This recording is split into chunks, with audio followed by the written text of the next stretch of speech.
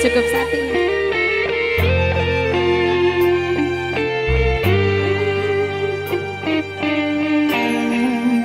jangan tanya bagaimana esok ku